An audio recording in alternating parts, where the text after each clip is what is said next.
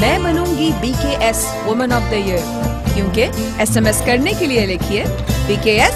space दीजिए और भेज दीजिए टू सेवन नाइन वन पर